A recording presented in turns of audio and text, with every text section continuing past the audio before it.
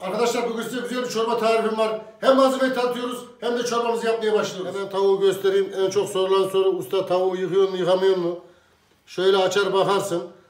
Ee, tavuk düzgün ayıtlanmamışsa, düzgün temizlenmemişse yıkarsın. Tek şartı var. Sağa sola suyunu damlatmayacaksın. Direkt tencereye koyacaksın. Bulaş. Ee, sağa sola e, suyunu damladığından dolayı ortaya çıkıyor.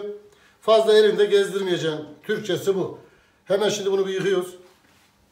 Tavuğumuzu yıkadık getirdik. Şu kuyruk kısmı rahatsız ediyorsa orayı da alabilirsiniz.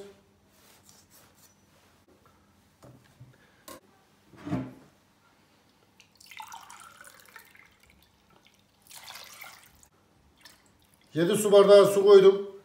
Ee, suyun tamamını yemeğimizde kullanacağız. Hemen tavuğumuzun içine şöyle en küçüğüne bir tane de soğan atıyoruz. Soğan tavuğun sası kokusunu alır.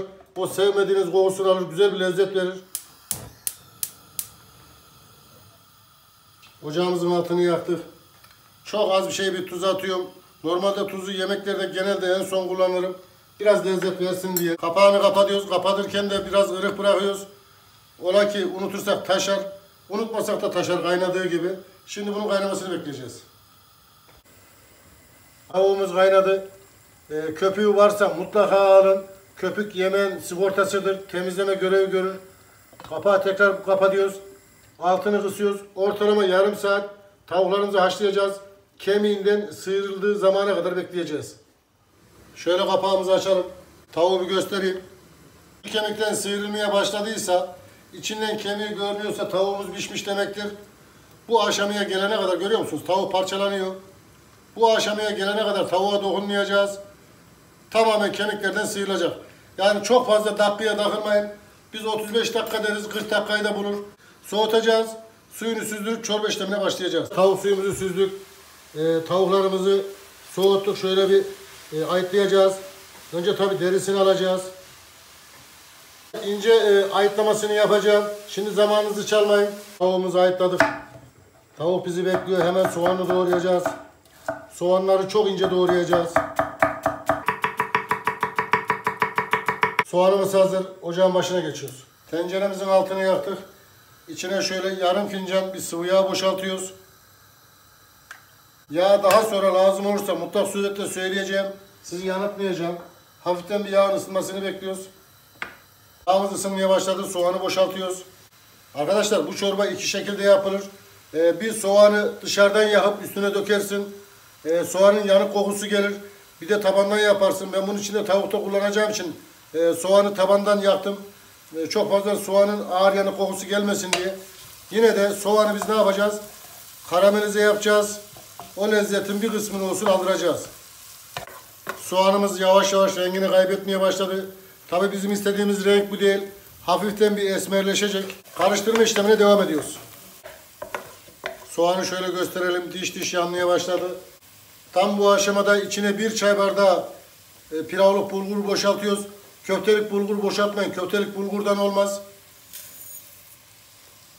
Bulguru da kavuracağız. Bulguru niye kavuracağız? İçinde çamur gibi olmasın. E, çorbamız e, daha lezzetli çıksın diye. Çıtır çıtır sesler gelmeye başladığında e, bulgur kavrulmuş demektir. Bulgur arkadaşlar kesinlikle fazla katmayın. Bir çay bardağı bulgur bile 5 kişiye fazla gelir. Bunu iyi düşünün. Çıtır çıtır sesler gelmeye başladı. Bulgurumuz kavruldu. İçine bir yemek kaşığı domates salçası katıyoruz. E, Tabi tercih sizin. Seviyorsanız e, biber salçasıyla yarı yarıya katabilirsiniz. Salçayı da iyice bir kavuracağız. Bu arada e, tavuk suyumuz da soğuyor. Bizi bekliyor.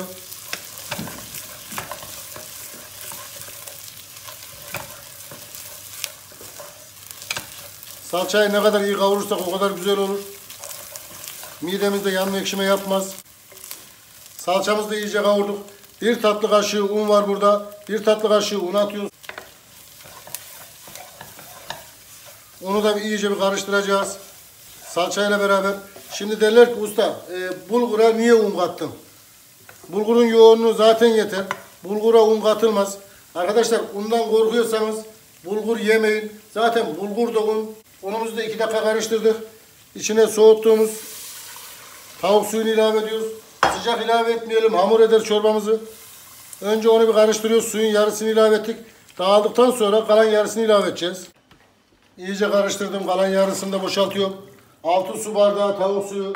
Ee, tamamen kaynadığı zaman, işimiz bittiği zaman yoğunluğunu kontrol edeceğim. Su ayarını o zaman yapacağım. Kaynayan suyla yapacağım. Şimdi bunun kaynamasını bekliyoruz. Şöyle bir gösterelim. Çorbamız kaynıyor. Ee, daha önce de söylediğim gibi bir çay bardağından fazla atmayın. Çorbanız pilav gibi olur. Bak bir çay bardağı attım. içinde bir sürü dene var. Şöyle de bakın. Bulgurlar dağılmıyor. Kendini bırakmıyor. Bu da kavurmuş olduğumuzdan dolayı. Altını kısacağız. Ortalama kısık ateşte 15 dakika bunun bir olmasını bekleyeceğiz. Su ayarını ondan sonra yapacağız. Arkadaşlar kısık ateşte 15 dakika beklettim. Şöyle görün. İçi bulgur doldu. Bulgurlar şişti. Bu aşamada e, haşladığımız tavukları boşaltıyoruz. 6 su bardağı tavuk suyu ilave etmiştik buna. Şöyle bir karıştıralım.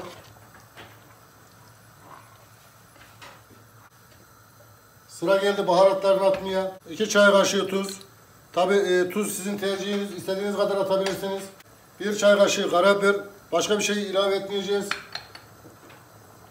Acı seviyorsanız pulver istediğiniz kadar katabilirsiniz.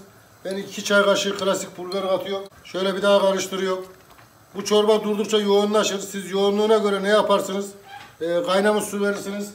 Şimdi ben yoğunluk ayarlaması yapayım. 6 su bardağı tavuk suyu, 2 su bardağı da normal kaynamış su ilave ediyorum. Bundan sonra buna su ilave etmeyeceğim. Daha fazlası çorbayı bozar. Çorbamız pişmiş olduğundan dolayı kaynayan suda ilave ettik. Altını kısıyoruz. Ortalama bir 4 dakika kısık ateşte bunu kaynatacağız. Tam 4 dakika geçti. Altını kapatıyoruz. Az bir dinlendireceğiz. Çorbamız hazır. Şöyle bir gösterelim. Çorba alırken şöyle bir kere bandırıyoruz. Geri çıkar diyoruz. Damlama yapmaz. Bu çorbayı içerken de fazla içmeyin. Sonra rahatsız olursunuz. Midenizde bulgur şişme yapar. Ortalama en fazla içebileceğiniz miktar bir buçuk kase diyelim. Daha fazlasını önermiyorum. Vallahi sonra sabaha kadar sağa sola dönersin. Şöyle bir çevirelim. Sayfamda binin üzerinde yemek tarifi var. Ahmet Şef'in mutfağı yazın. İstediğiniz yemek karşınıza çıkar. En kolayından en zoruna kadar her türlü yemeği bulabilirsiniz. İnşallah hayırlı öğretici video olmuştur. Çorbayı da kesinlikle öneriyorum. Lezzeti çok güzel. Soğanın aroması, tavuğun suyu birbirine karışmış. Mutlaka yapın derim. Ben çorbayı gördünüz. İnşallah hayırlı öğretici video olmuştur. Videoları beğenip yorum yapmayı unutmayın. Abone olmayı unutmayın. Ne diyoruz? Kim yapar? Ahmet Şef yapar. Siz isteyin. Biz yapalım. Afiyet olsun.